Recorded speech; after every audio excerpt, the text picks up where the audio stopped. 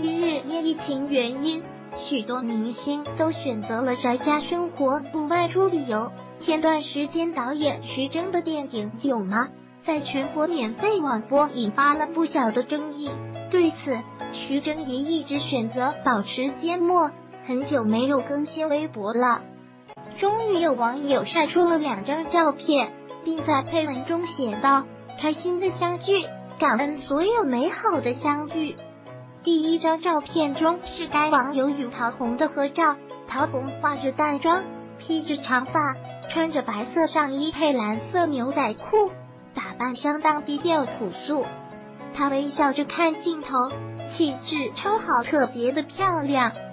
第二张照片是一张大合照，照片中徐峥一家三口罕见同框，徐峥的女儿徐小宝正面也被意外曝光，看起来跟妈妈桃红特像。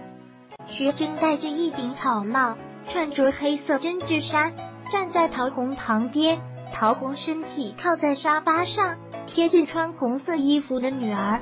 徐小宝穿着红色卫衣，配黑色运动裤，脚踩拖鞋，一双红色袜子十分抢镜。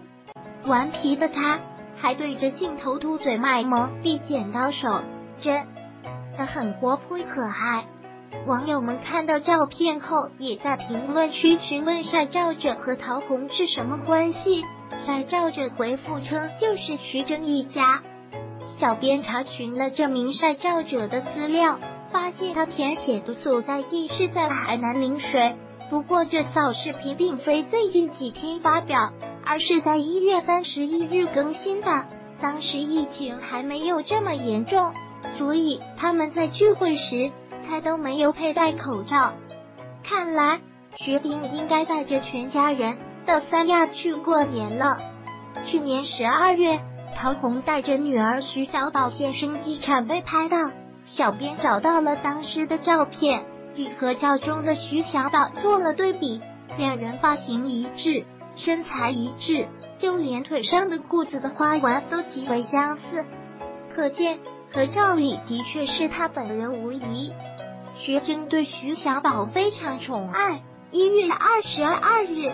有网友在上海偶遇到了徐峥陪着妻女逛街，当时徐峥、陶虹都戴着口罩遮面，非常低调。徐小宝对一家店铺的裙子兴趣颇大，一直在店中选购。徐峥也相当有耐心，不仅帮女儿一起看、考选择款式，还帮女儿拿衣服，真的是父爱满满了。